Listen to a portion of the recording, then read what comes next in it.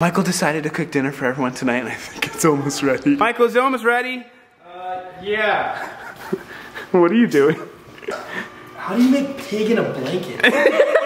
Hey, I'm Alex, and this is my girlfriend Kouvr. And these are my friends. Hi.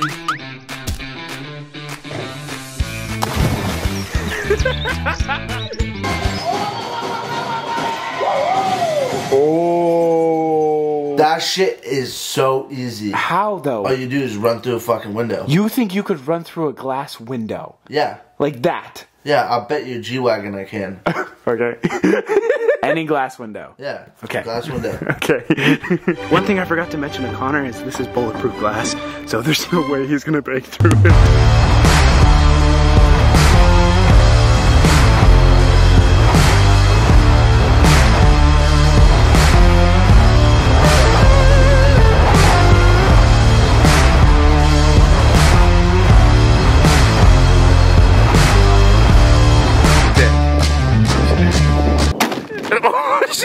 Are you okay? Are you okay? How the fuck do they do that in movies?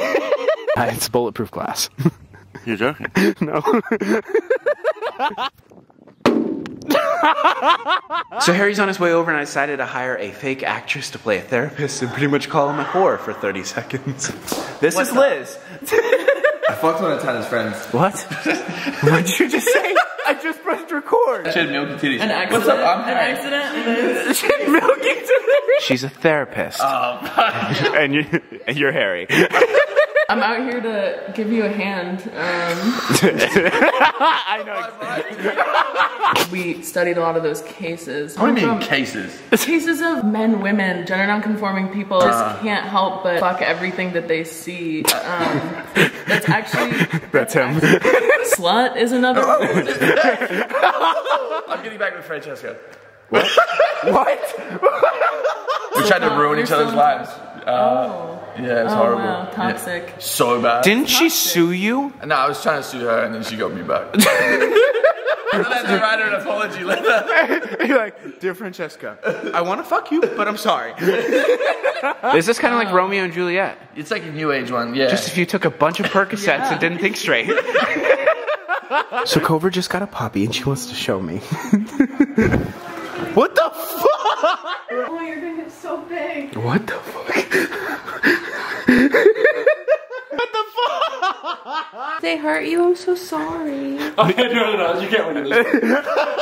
He just stroking the puppy. Why, would- why are you saying it like that? She was. like, You stroked the dog, right? Pet, sorry. This is Coda.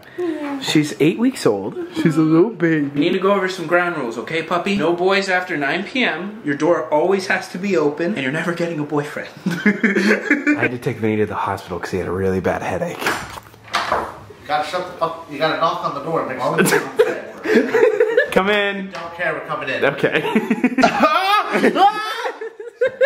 What's going on with you, bud? I think. Have we taken your weight yet? Fat as fuck. huge, bro. You're on a diet. Because you got too much fat in your brain. I can't keep writing songs about the things I left behind I spent way too much time alone inside my morbid mind I wanna live inside my dreams but I can't sleep at night I lost myself between You know what? I'm just gonna go around. Let's go around. Hey, bro.